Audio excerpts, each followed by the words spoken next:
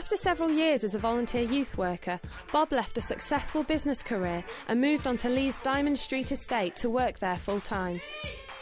Because of his passion for the young people, Bob now leads the new Eden team on the estate. Hi, I'm Bob. Uh, this is my wife Sandra, and I'm the new Eden team leader at uh, Leigh, uh, which is in uh, Lancashire. And uh, we moved up here in 2005 uh, from South Oxfordshire.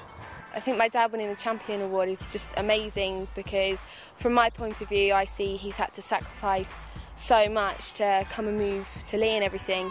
Because he gave up like a really amazing house and like a really wealthy job and everything, and he's kind of come up here and he's not earning as much and he's kind of living in a very different area. Um, and I just think, from my point of view, seeing him now, he's much richer in what he's getting from the community around here and the people and getting friendships with them. And I was very intrigued by this guy who obviously had a wealthy lifestyle down south and yet gave all that up to live on a, a council estate in Leigh on a youth worker's wage, which would have been nowhere near what he was used to.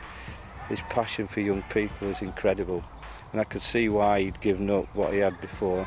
Sandra and I kept very, very busy working with uh, the, the local the kids and uh, some of the parents trying to help them out in here.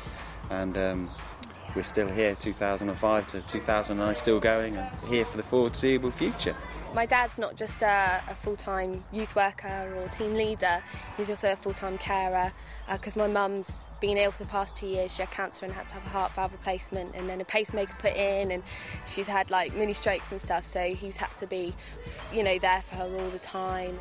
It's pretty awesome to be recognised for the work you do. For me, I'm I think we're all proud if you're allowed to be, um, but I know Rob finds this very embarrassing. But uh, he's my hero.